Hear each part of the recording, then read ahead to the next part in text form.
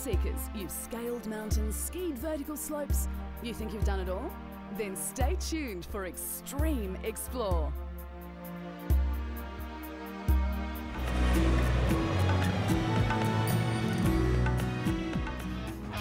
What do you need to compete in Kenya's annual Rhino Charge off-road car rally? A car, 1300 US dollars, a few enthusiastic mates, and a certificate of mental instability. To drive the shortest distance between 14 checkpoints. Sounds simple? But the route, kept secret till the night before, is sadistically charted over East Africa's worst terrain.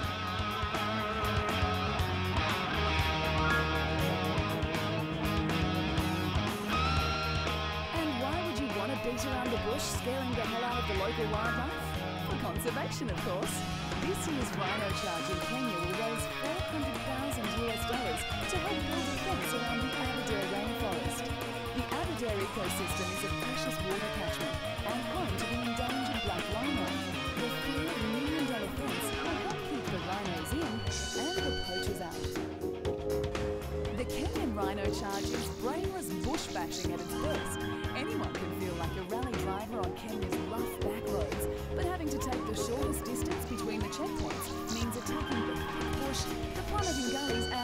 swamps head on.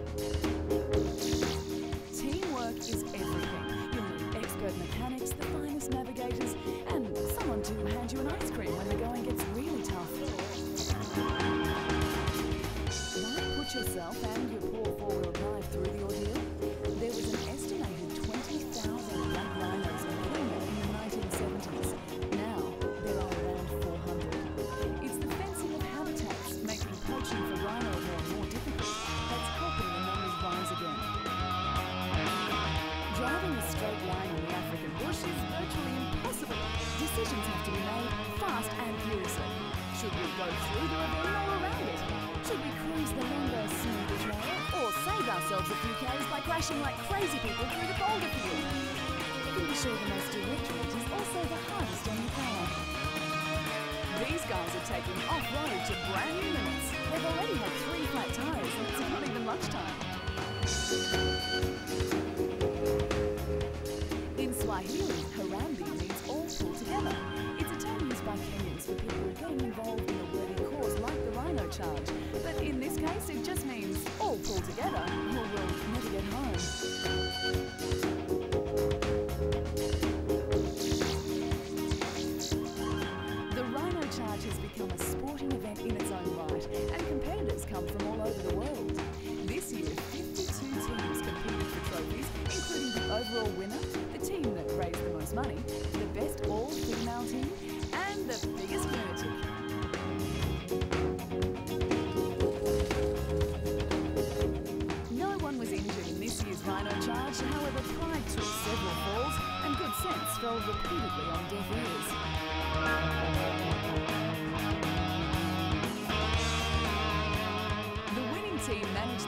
the 45 kilometre course in an actual travel distance of 51 kilometres, straight as a rhino's charge.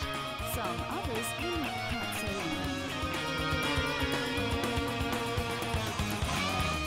Kenya's Rhino Charge has been held annually for eight years now at the beginning of June. It takes place in bushland around eight hours out of Nairobi at a secret location only revealed the night before the famous off-road rally.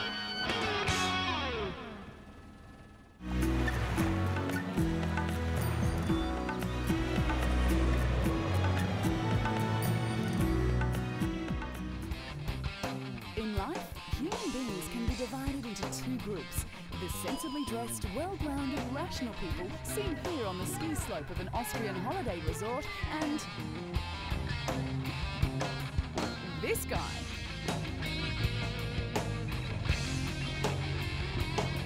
The Austrian ski resort of Westendorf plays host to the annual Jump and Freeze event. The rules are self-explanatory. You jump, then you freeze. Over 150 contestants compete for the best dressed or craziest vehicle award. The judges are looking for originality and special effects. But the 9,000 strong audience just wants plenty of jump and lots of freeze. Iced coffee, anyone? Westendorf is situated on an open plateau in the wide Brixen Valley, about 15 kilometres from Kitzbühel. It's a family-friendly resort in one of nine villages in the world's largest interconnected ski area, which has 250 kilometres of prepared runs and 93 lifts. Westendorf is usually little village. That is until the world converges here for the annual Jump and Freeze. This windmill is not so much being propelled by wind, it's being propelled by three screaming Dutchmen who just realise what the freeze part means as they hit the layer of ice forming over the near freezing water. Ah, the Trojan horse, once a great military tactic, and now just a soggy paper pony. Stages of hypothermia. One, the body drops below its normal temperature. Two, shivering, goosebumps, stumbling, and mild confusion. Three, losing muscle coordination, body turns blue, and victim exhibits irrational behaviour. Prevention of hypothermia? Stay inside your ski lodge with a steaming mug of hot chocolate. Vehicles are designed to collapse on contact, but these Vikings are actually Swiss engineers on a team building weekend, and their ship is just too good for the competition. The judges here at Westendorf do not discriminate in any way. Here's an entry from the farther reaches of outer space. Unidentified flying object?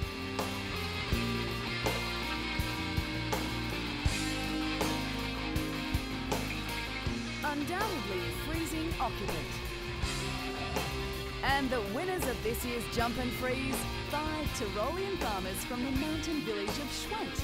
They were asked why they didn't take their vacation by the sea. No, they said, we'd rather build a small house, drive it down a dangerous slope, and plunge with it into 300,000 litres of freezing water. If you'd like to join them, head to Westendorf Ski Resort, one of nine villages in the world's largest interconnected ski area in early February for this winter sports festival. Bring paper mache and pyrotechnics.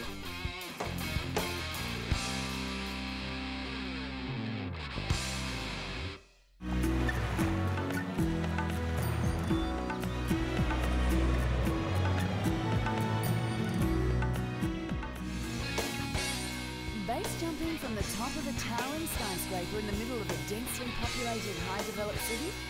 Can't be legal, you say? It isn't. Not anywhere in the world, but here in beautiful Kuala Lumpur, Malaysia.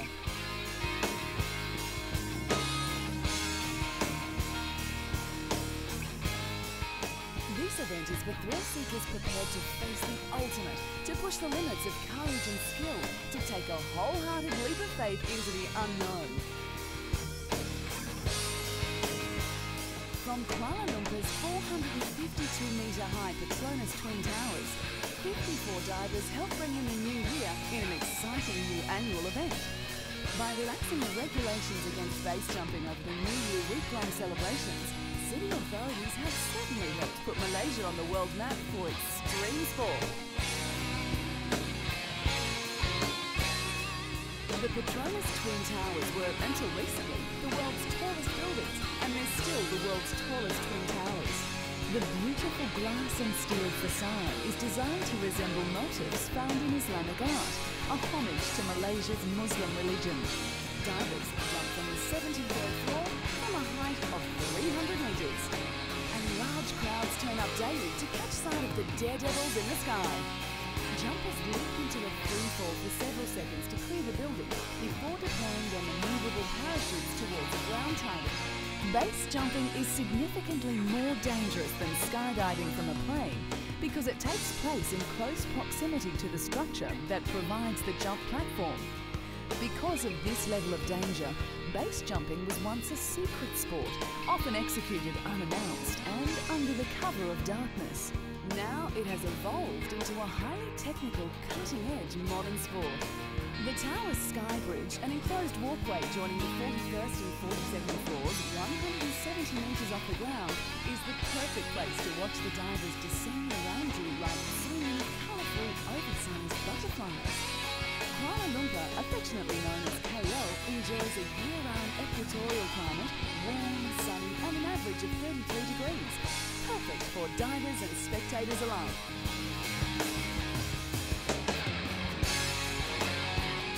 The Twin Towers are part of the Golden Triangle, the commercial hub of the city, and offer a distinctive nightlife including clubs and the Chinese night market in Chinatown. KL is also home to Parliament House and the official residence of the Malaysian royal family.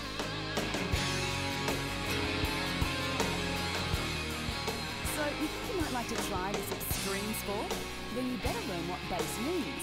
B, you must jump from a building. A means antenna, jumping from a tower like an aerial mast. S stands for span, jumping from a bridge or arch. And E is for earth, a leap from a cliff or other formation. And when you've chalked up all four, you can apply for an official base number. Then you can call yourself a base jumper like over 1,000 registered jumpers.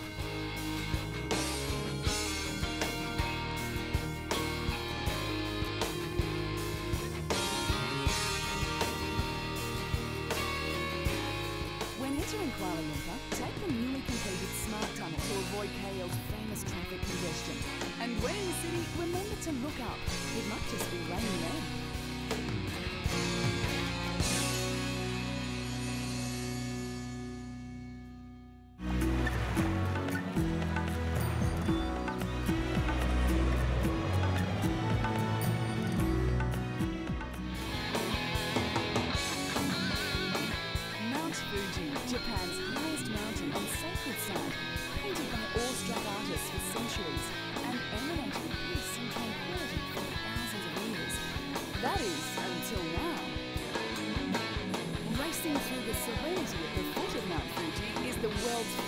roller coaster.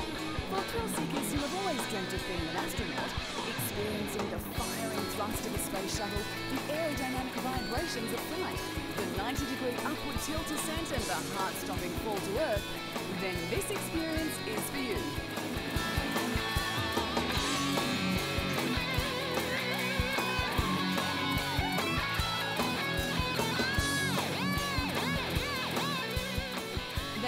This monster Dodonpa, which means the sound of a racing car, because the pounding sound stays with you long after the ride is over.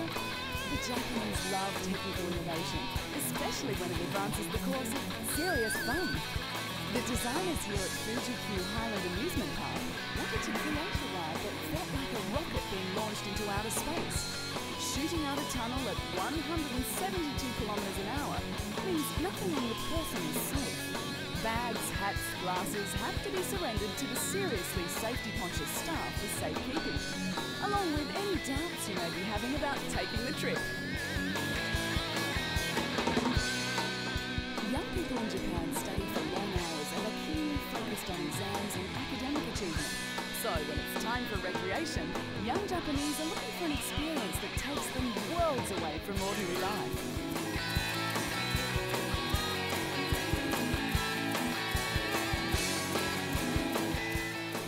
2.42 million US dollars to build it, and you'll pay 800 yen for what amounts to a little over one minute of sheer blinding terror.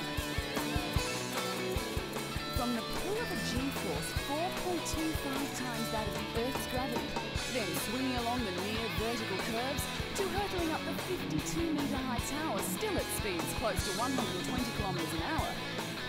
Regretting it yet? Or will it take the sickening free fall down a 90 degree slope? About now, don't you wish you were on the sweetheart Ferris wheel? Come on, it wasn't that bad. Perhaps we can tempt you to go round again. Then what about going on to spend the night at the haunted house? You can enjoy Fuji Q's unique package of a night of terror, followed by a continental breakfast. Fuji Q Highland Amusement Park is located not too far from Tokyo. Hire a car and drive from Tokyo, marveling at the unforgettable sight of Mount Fuji coming into view.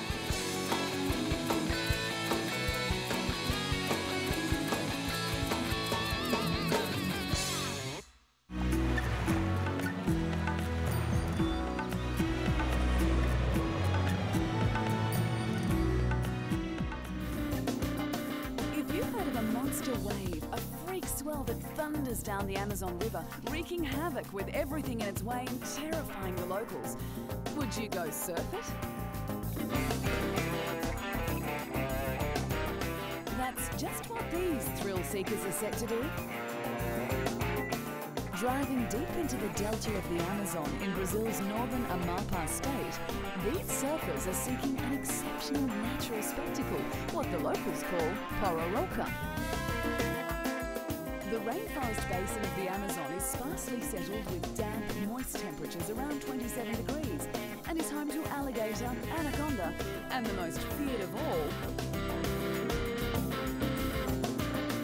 the carnivorous. Piranha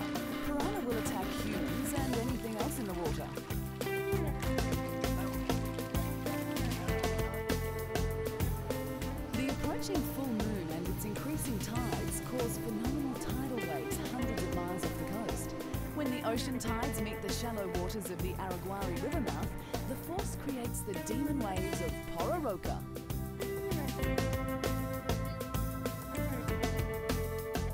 They'll be riding the longest wave in the world, and it only happens twice a day. It'll take skill, endurance, and speed, and that's just to keep ahead of the piranhas. The local indigenous people think they're crazy.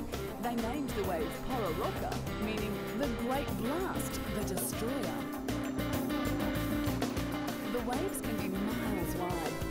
Metres high, and moving at a rate of up to 50 kilometres an hour. The low, ominous hum of the spectacle can be heard up to two hours away. River surfing is a strange new novelty for thrill seekers and is attracting those looking for a new challenge in extreme sports. The recent river surfing competition held here on the Araguari River in the city of Macapa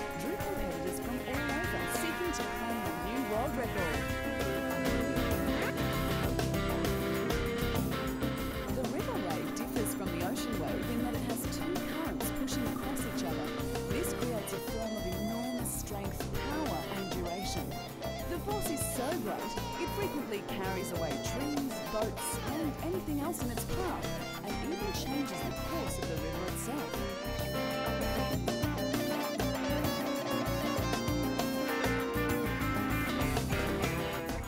If you're loco enough for the Pororoca, plan your trip during the full and new moon in late March to take full advantage of the highest tide. The Araguari River flows from the Tumucumaque Mountain to the Atlantic Ocean.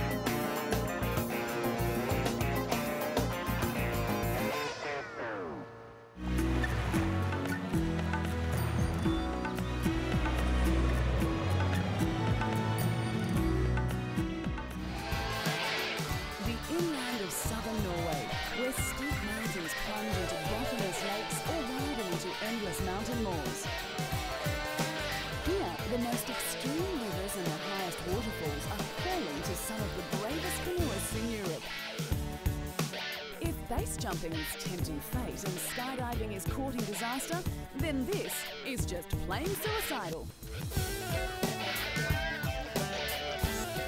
There has to be a first descent on every great river. That is, the river must be traversed, charted, and rated for a first time. And somebody's got to do it. These experienced canoeists are literally going where no one has gone before. The pros say that the key to successfully planning and running a first descent of a river is commitment, determination, endurance, focus, and a little bit of luck. The drops from these waterfalls are rated at the highest level of difficulty for a whitewater kayakist. The world record for the highest drop was over Canada's 106 foot Alexandra Falls.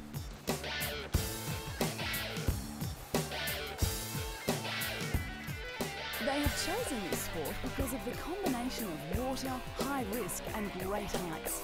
But here in the icy upper reaches of the Tora River, the athletes face a massive challenge. The most extreme river sections and the triple combination of waterfalls. It's only experience that can save you now. These guys train many months of the year to hone their ability to react in the middle of a vortex. But on a first descent of such a vicious river, Sometimes experience is not enough.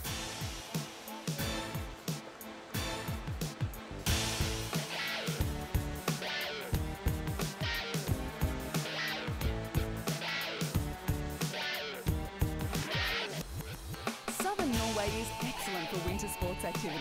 The deep valleys were formed in the Ice Age as the ice and rivers carved their way through the Norwegian mountains. The valleys filled with salt water, becoming famous fjords, and ice remained on mountain tops, creating the glaciers. The final challenge is to take the first ever kayak run on the Brilby River at the Nigardsbreen Glacier. Good luck, guys! Southern Norway is sometimes referred to as the Riviera because of its unspoiled, if chilly beaches. From there you can follow the canals inland for the not so extreme canoeing and boating.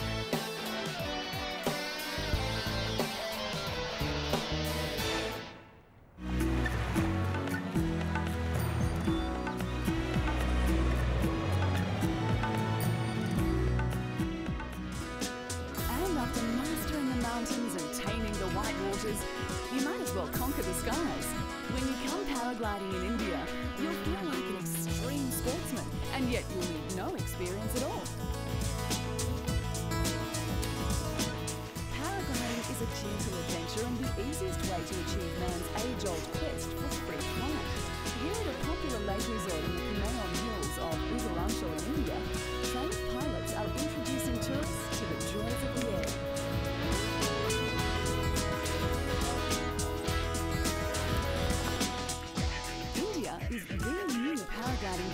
destination. The best cliffs and slopes, the low hills, rocky terrain and endless flatlands offer the ideal conditions for the sport.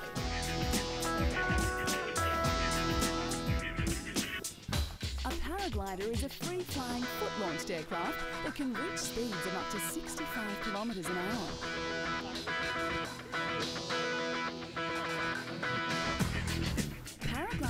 Relies on two types of flight conditions. One, ridge soaring, where the pilot uses the lift of air running up the length of a ridge feature in the landscape. And two, thermal flying, where the sun has warmed the cliff faces, setting off rising columns of warm thermal air underneath. Beautiful.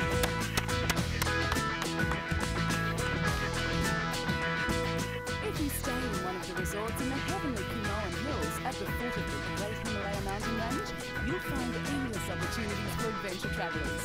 You can ski on the snow-capped mountains one day and then trek uphill through the mind-blowing Himalayas the next.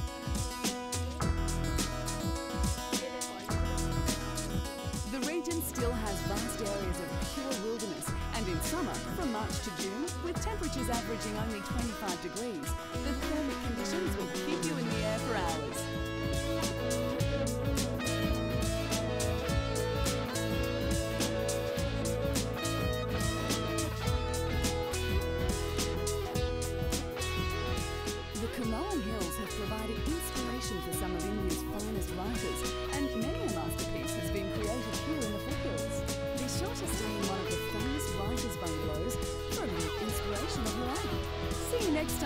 Explore.